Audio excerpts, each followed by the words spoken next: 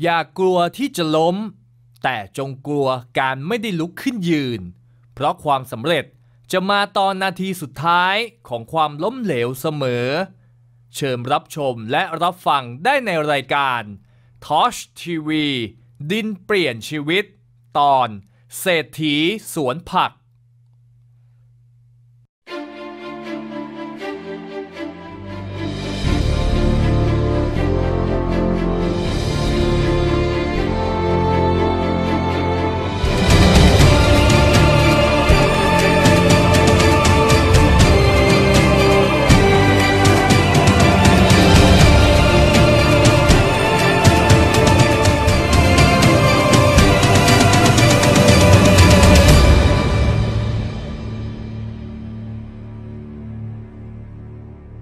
คุณผู้ชมครับ ผมเชื่อนะครับว่าตราบใดที่คนเรายังมีลมหายใจ ต่อให้ไร้ซึ่งแขนขา แต่ถ้าหากหัวใจของคนเรานั้นแข็งแกร่งพอ ชีวิตก็จะสามารถต่อสู้ สามารถที่จะฝ่าฟันปัญหาอุปสรรคต่างๆ ที่ถาโถมเข้ามาได้อย่างง่ายดายเหมือนอย่างเช่น เรื่องราวของชาวสวนท่านนี้ครับในอำเภอปากช่องจังหวัดนครราชสีมาที่ในอดีตนั้น เขาต้องมีโชคชะตาอันเลวร้ายทำให้เขาต้องประสบปัญหาล้มเหลวในการทำอาชีพ จนเป็นหนี้เป็นสินนับล้านบาท แต่สุดท้ายหัวใจอันแข็งแกร่งของเขา เลือกที่จะหอบหิ้วชีวิตของตนเอง และครอบครัวมาทำสวนผักอยู่ที่อำเภอปากช่องจนประสบความสำเร็จ นับจากวันนั้นจนถึงวันนี้ครับคุณผู้ชม ชีวิตของเขาได้ถูกเปลี่ยนด้วยดินที่ดี และก็ได้ประสบความสำเร็จด้วยแนวทางเกษตรดีๆนี่เอง รายการดินเปลี่ยนชีวิตในสัปดาห์นี้ จะน่าสนใจและน่าติดตามเพียงใดคุณผู้ชมตามผมมาชมพร้อมๆกันเลยครับ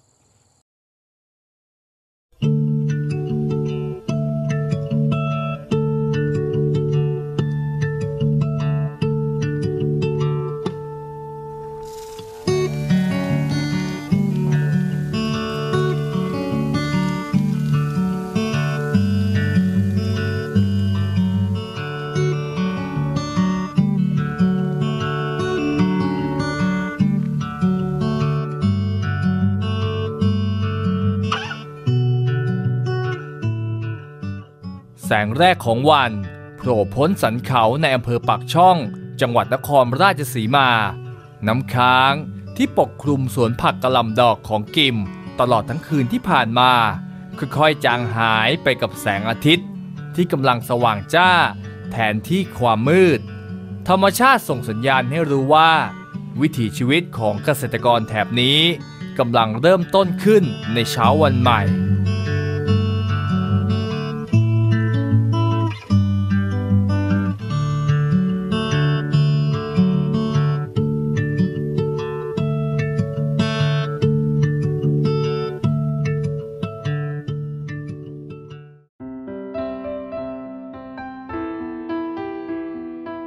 ความอุดมสมบูรณ์ของสวนกระหล่ำดอก ปกคลุมพื้นที่ราบสูงกว่า 50 ไร่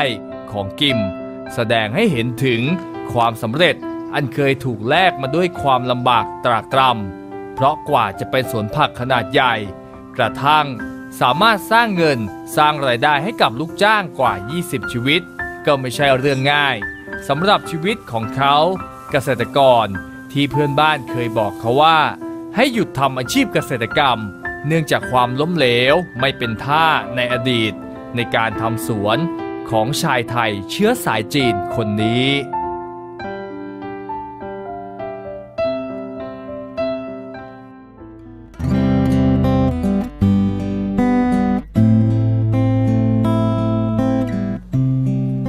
จากวันนั้นถึงวันนี้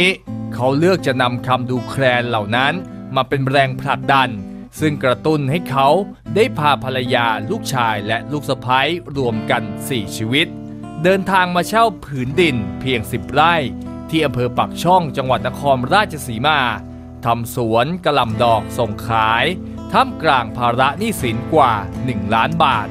ที่เคยล้มเหลวจากการทำสวนในพื้นที่อำเภอไซน้อย จังหวัดนนทบุรี ดังนั้นพื้นดินแถบนี้จึงกลายเป็นเสมือนความหวังครั้งใหม่ของครอบครัว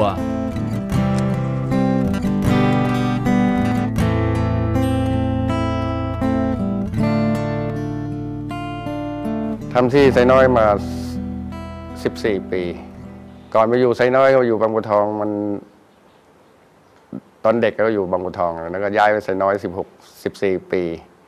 นี่มาปักช่องมัน 16 ปีแล้ว ที่นู่นมันทำแล้วมัน สารเคมีมันกินหมดอะทำแล้วไม่มีเหลือห้าปีหลังนี่ก็ขาดทุนไปประมาณสี่ห้าล้านบาท ทีนี้ก็ ค่อยๆ เก็บเล็กผสมน้อยทำสิบไร่ไปก็มาขยายเป็นเจ็ดสิบไร่ทุกวันนี้ ก็ชาวบ้านเขามองมองคนแถวบ้านเขาว่ามองว่าอนาคตต้องกลับไซน้อยอะอยู่ไม่ได้หรอก แต่ที่ไหนหลังจากนั้นอีกสามปีผ่านไปเงี้ยมีเด็กคนตามมา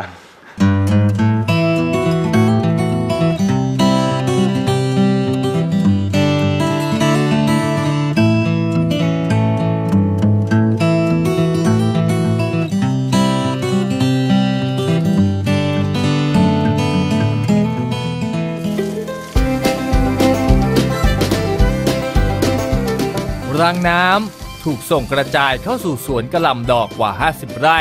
และอีกส่วนคือบริเวณแปลงที่อยู่ระหว่างปรับเตรียมดิน เพื่อรอปลูกกระหล่ำรุ่นถัดไป แต่ทุกขั้นตอนในสวนผักของกิมกำลังถูกสร้างขึ้นพร้อมๆกัน ไม่ว่าจะเป็นการให้ลูกจ้างเตรียมต้นกล้ากระหล่ำในแปลงปลูกช่วงเวลา 7 วัน ก่อนจะนำไปปลูกในแปลงที่ถูกยกร่องและเตรียมดินไว้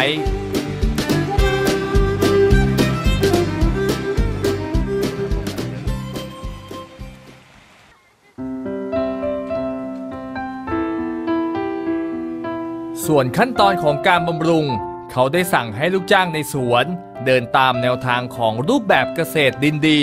กระทั่งผ่านไปเดือนกว่ากระลำของกิม ก็จะให้ผลผลิตนำไปส่งขายสู่ตลาด สร้างรายได้ราคางาม จนกลายเป็นสวนผักที่กลุ่มคนทำสวนผักมากกว่า 100 เจ้าในอำเภอปากช่องต่างรู้จักกันดี เพราะดอกกระลำที่หนักกว่า 2 กิโลกรัมต่อดอกนี่เอง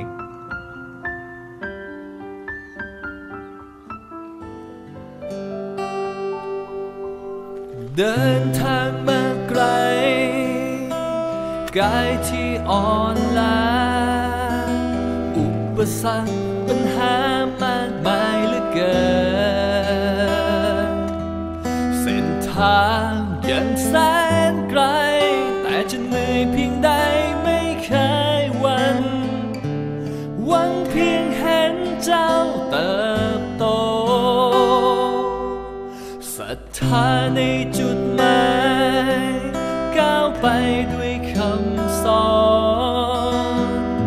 กษตรกรคือผู้ให้ชีวิต แต่ชีวิตผู้ให้กำลังจะตายฟ้ามืดมน ฉันคนนี้จะเป็นขอบเพลิงส่องนำทางสนับสนุนโดย บริษัททอชคบเพลิง เราเชื่อว่าดินที่ดีมีไส้เดือนคือปุ๋ยที่ดี บริษัททอชคนทำนา เราปลูกข้าวด้วยดินที่ดี เพื่อให้เป็นอาหารอันบริสุทธิ์ บริษัททอชคนเลี้ยงวัว เราเลี้ยงวัวด้วยหญ้า เพื่อให้เป็นอาชีพหลักของคนไทย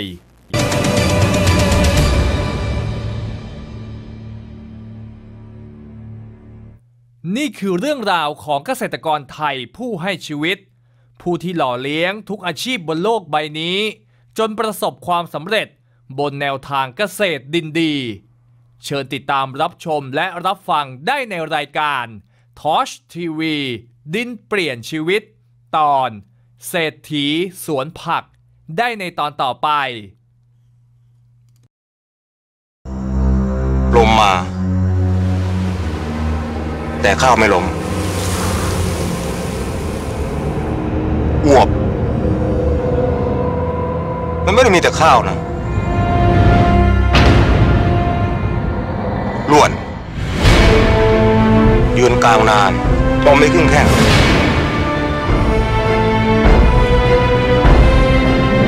เพียงไม่มี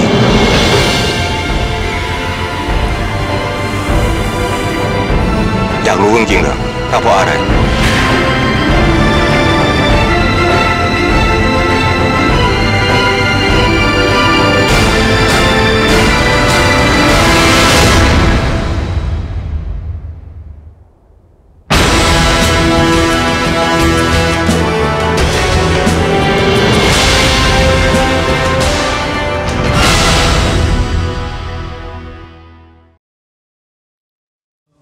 ดินที่ดี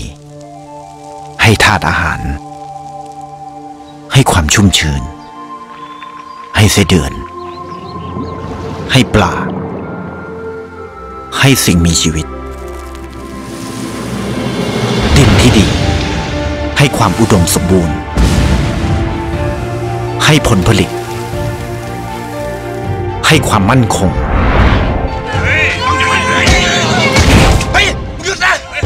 ให้ศักดิ์ศรีอยากได้นี่มากใช่ไหมเอาไปเลยให้อิสรภาพ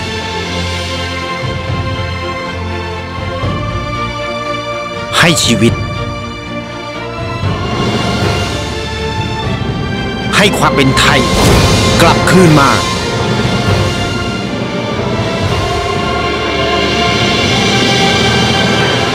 ดินที่ดีท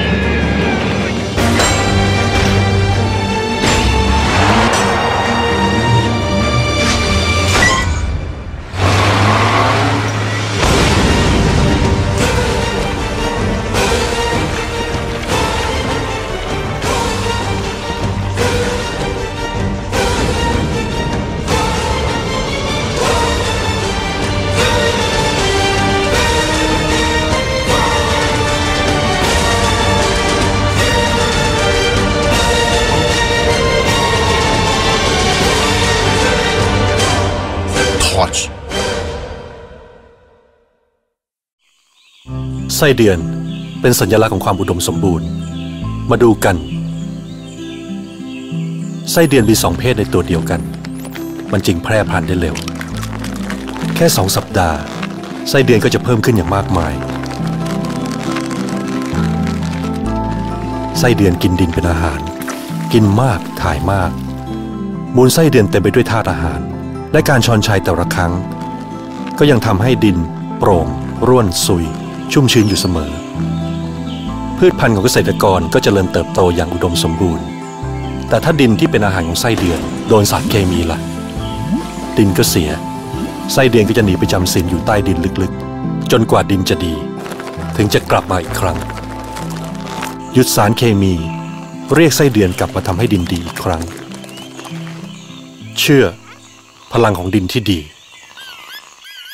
ทอช คุณคิดว่าที่ผืนนี้ราคาเท่าไหร่ ที่ที่มีแหล่งน้ำปลูกข้าวได้ทั้งปี ที่ที่ดินดี มีธาตุอาหาร มีชีวิต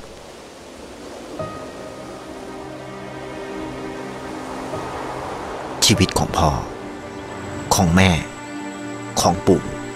ของย่า ของบรรพบุรุษ ที่ที่มีประวัติศาสตร์ ที่ที่ทำให้คุณมีที่ยืน และสามารถตะโกนบอกผู้อื่นได้ว่า ที่นี่ คือแผ่นดินไทย